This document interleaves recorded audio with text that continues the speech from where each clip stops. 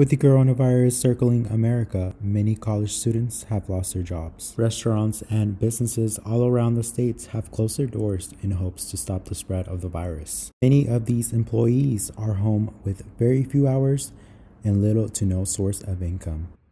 AC student Paulina Fernandez says this has affected her. It's stressing because we all have bills to pay and we were used to having that income coming to our um to us every every week, every other week. So it sucks. While some people may be stuck at home with nowhere to go, gas prices are rapidly decreasing and students are liking it. AC engineering major Carolina Barba says she is enjoying the low prices.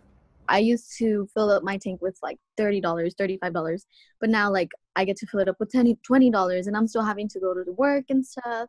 So I'm still driving around and it's definitely helped me save up money. Individuals who have lost their jobs are now questioning when they will see their coworkers once again.